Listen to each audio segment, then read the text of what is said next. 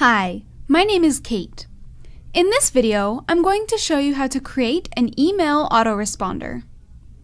From your cPanel, click the Email Quick link in the top menu. This will bring you to your email manager, and now you can click Autoresponders.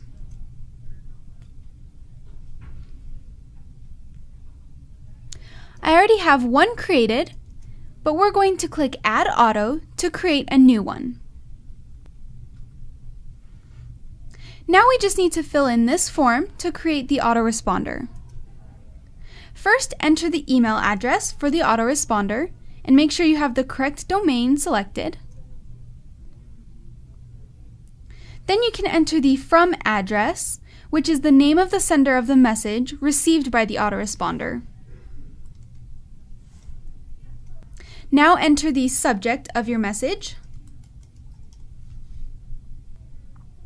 And then you can create the actual body of your message.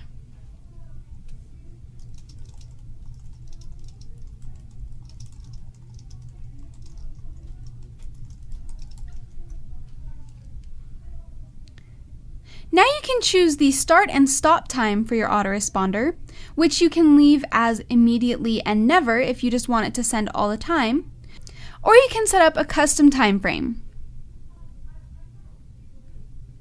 So mine will start on the 12th and stop on the 15th.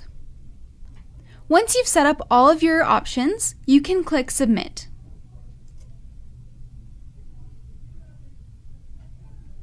And there you go.